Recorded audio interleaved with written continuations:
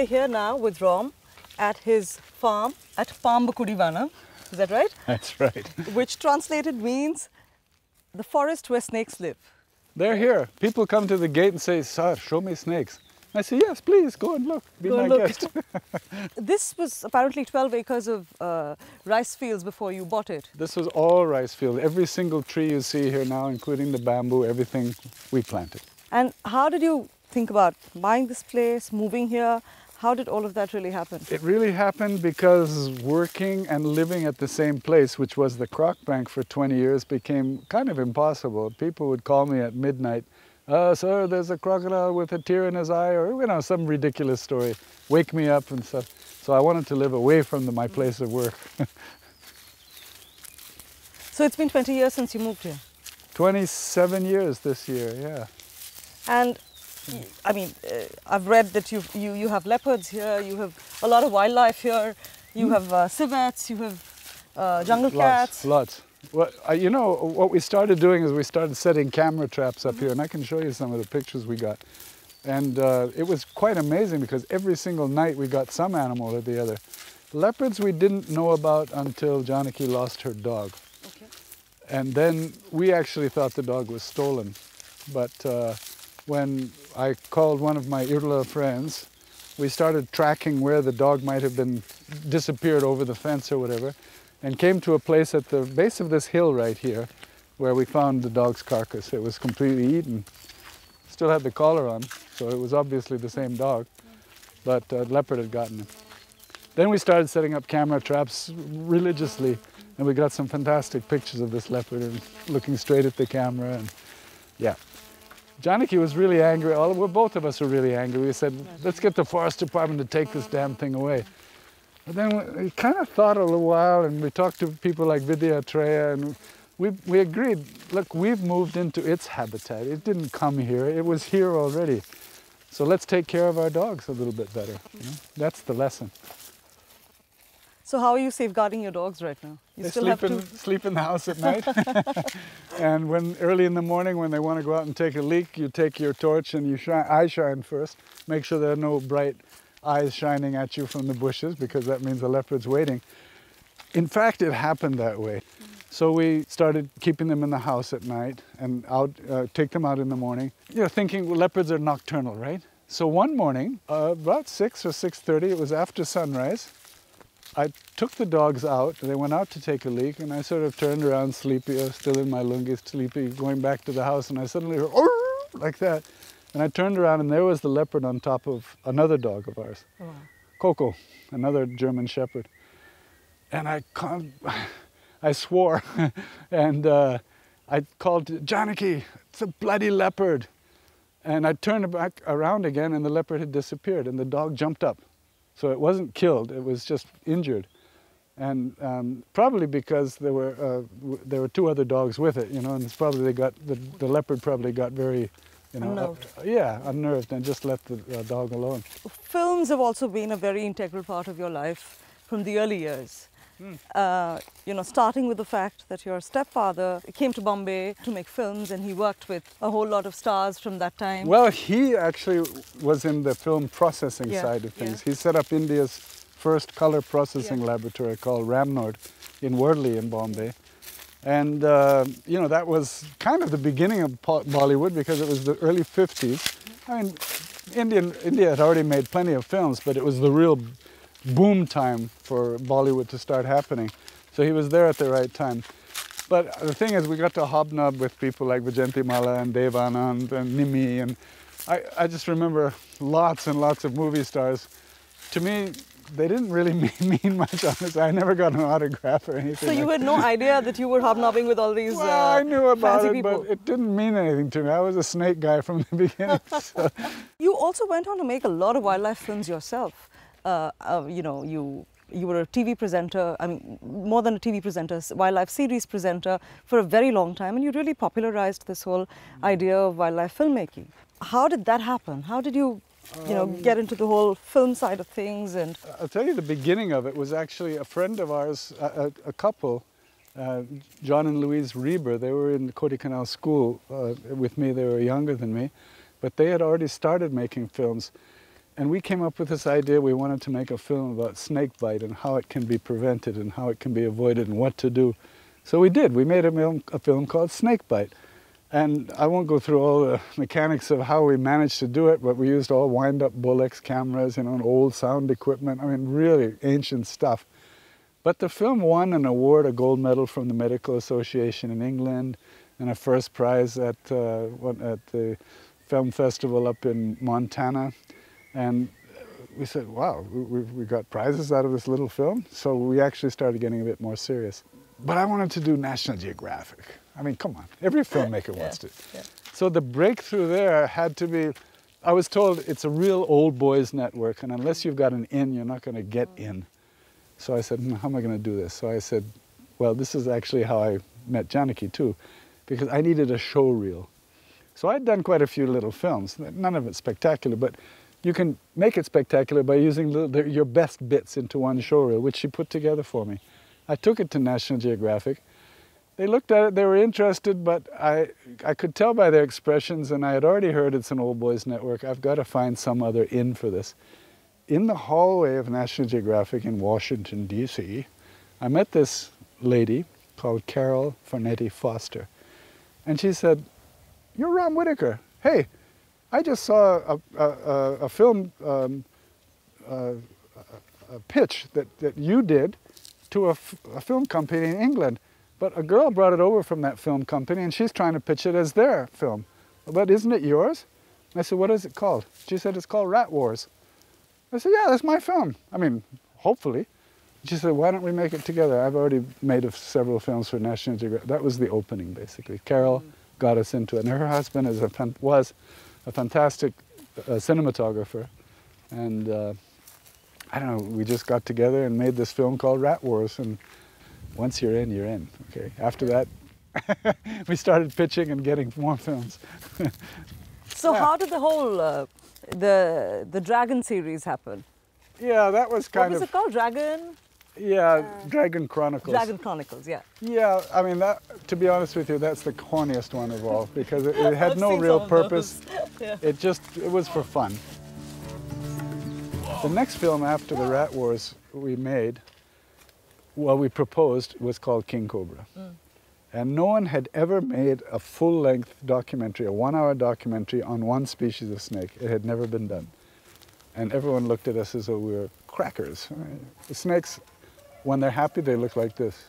When they're sad, they look like this. When they're angry, they look like this. They have no expressions. You know, what are you gonna, what's the personality of a snake? How are you gonna, yeah. but I, I kind of knew this is the snake of snakes. I mean, it's the biggest venomous snake in the world. We knew we could do something with it. 12 feet of venomous snake. You know, this is the super snake. In comparison, an anaconda is like a big earthworm. This is the story of one man's quest to save the king.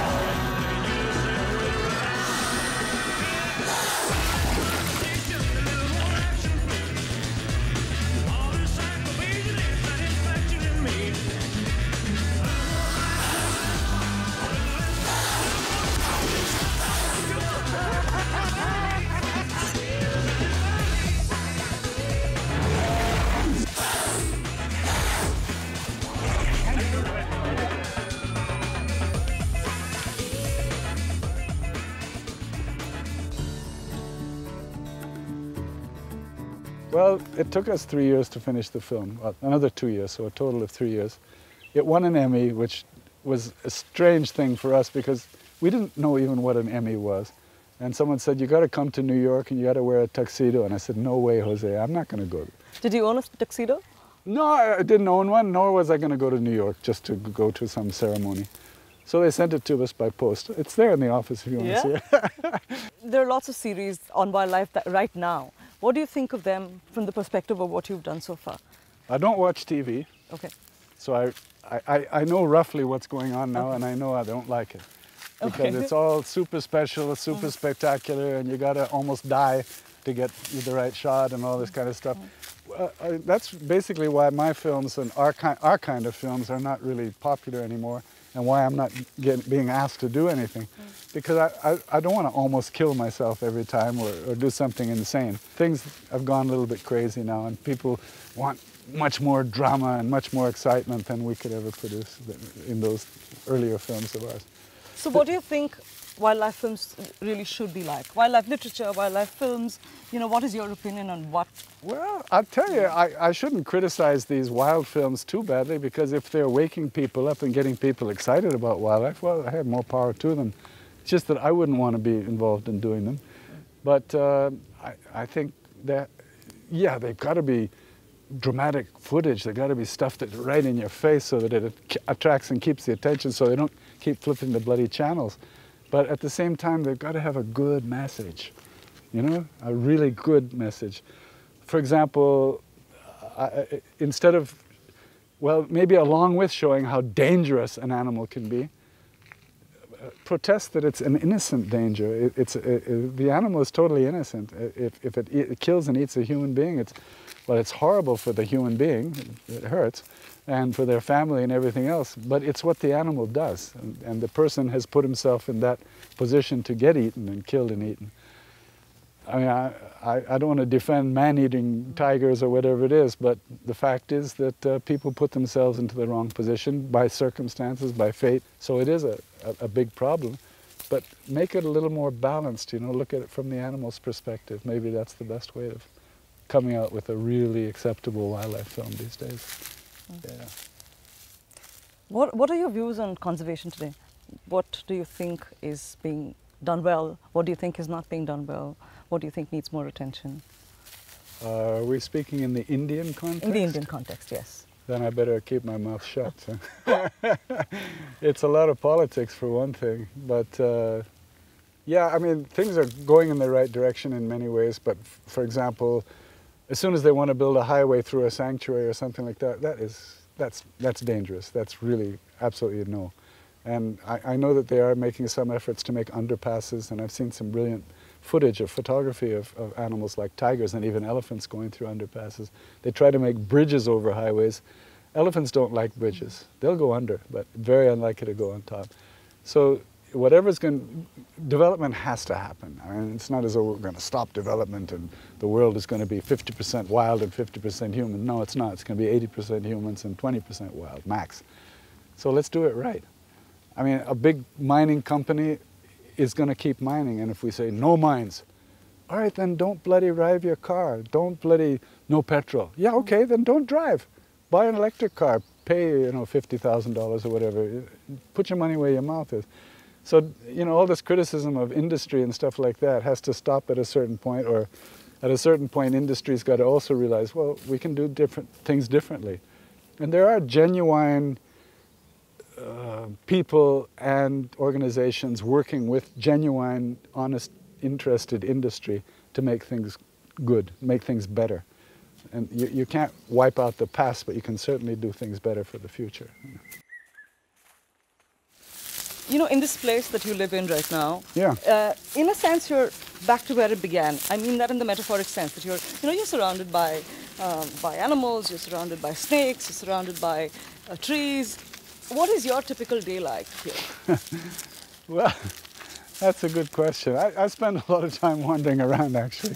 I can but, imagine. yeah. Well, the hill which is behind us here, which you can't see because there's too many trees. In fact, Janaki keeps saying, can't we trim some of the trees so we can see the hill at least? No, no. but uh, yeah, my day consists of doing, I'm, I'm quite a bit into writing and doing other stuff. And this whole snake bite thing means I have to get drawn off to Delhi and other places to meet with the ICMR doctors and, and, and do stuff like that. So it's, it's a very mixed day I have.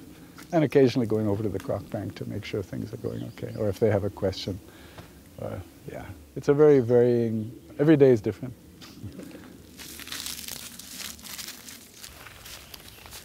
So I have three questions for you, mm-hmm. sent by three different herpetologists or wildlife biologists who worked with you. Okay? Mm. Interesting questions. Nirmal Kulkarni yes. asks, what is your favorite snake in terms of color? Oh, I think it was a trick question there. I think he wants you to say something. There. Yeah, I kind of know what he wants to say. To be honest with you, when someone says, What's your favorite snake? I find it very, very difficult to Yeah. give an answer because I got lots of favorites. Yeah. You're looking at snakes' color. Yeah. One of the most startling snakes, certainly in India, is the flying snake. Okay. And that's in the Western Ghats, and Nirmal, Nirmal knows that one Yeah. very well. But uh, there are also snakes like the banded krait, which is black, yellow, black, yellow. It's a very standard color, but uh, some interesting guys up in Calcutta call it taxi snake because this is the black and yellow, you know. So I thought that was pretty funny. But um, I think I would stick with the flying snake for different beautiful colors, yeah. For India, yeah. Gerry Martin asks, what would be the best attire for a young and aspiring snake enthusiast to go looking for snakes in a rainforest? Would a hornbill feather have anything to do with it? Okay, he's seen the picture. Uh, it's an X-rated picture of me with a loincloth on, walking through the rainforest with the hornbill feather stuck in my hair. I'm not going to show you that picture because I'm slightly embarrassed by it. But it was my real hippie days when loincloth. It, it, I'll tell you why I did that. I really had this feeling that if I had any metal objects or any stinky human objects on me, I wasn't going to find a king cobra. That was really what I thought. So no ring, I said, oh God, I've got metal fillings in my teeth. I didn't rip all my teeth out, luckily. I didn't go that far. But I didn't have any metal objects. I didn't have a metal snake hook. I had a bamboo snake stick. And I found a king cobra. I mean, So it worked. it worked. The loincloth and the, It worked. and the hornbill feather. That's all I got to say. What's with the hornbill feather? Though? But I don't recommend that to a young person. No. Especially because leeches, ticks, uh, stinging nettle, um, you know, there are lots of things in the forest where you should have some reasonable protection. You know, ordinary pants, shirt, and yeah, at least tennis shoes. okay. I don't wear boots, but tennis shoes, yeah. Okay, and the last one, Kartik Shanker Oh. asks, have you ever been bitten on the nose by a vine snake? What a freak. The guy knows that I got bitten on the nose, but okay, he wants the story. He obviously wants the story Okay. on record. Okay, I used to be a Jawa motorcycle rider when I was living in Gaimukh Bandar outside of Bombay. And every day I would stop at, there's a little petrol station at the bottom of Pedder Road. And uh, everyone who knows Bombay will know where Pedder Road is. And there was a little gas station there. And I always stopped there and they say, ah, sampola kya, kya, kya samp hai? They say, what snakes do you have, you know? And I said, huh, I'll show you one. So I took up my knapsack. They were filling petrol. Meanwhile, looking, looking. They, you know, they were having fun. I was having fun. I took out this vine snake and I said, "Ye- "Dekho, ye harasam. If this green snake, everyone says that has a pointy nose because it wants to strike you in the eye and put out your eye." I said, "What nonsense! I'm not sure what the equivalent of bullshit was in Hindi, but I said this is really bullshit." Watch, I'm holding it next to my face. Is it striking my eye? it grabs me by the nose. Not only grabbed me by the nose, it gave me a good hard bite and hung on there. So I sort of put my thumb or my finger into its mouth and it clamped on my finger. And then, but meanwhile, my nose was absolutely bleeding. And if you know, when you get your nose hurt, you, you start tearing. So it really looked like I was crying and I was in bad shape because all the blood was dripping down. And the guys, just horrified, you know. They said, "Abhi mar jayega." They, this guy's going to die for sure, you know. And I could hear them say that. I said, "I, it's nothing. It's not a venomous." Thing. Yeah, you say it's not venomous. Look at the blood and you know all this. Uh, this went on for a little while, and I took my handkerchief and wiped my nose off and put the snake back, and got on my motorbike and said bye. And I could see them watching me down there, waiting for me to crash over. But I rode off into the sunrise or the sunset or whatever it was. I was okay. Good Yeah. story. It was a good one. Yeah, that really worked. I mean, it didn't work. it didn't work. I mean, it was a good lesson for me.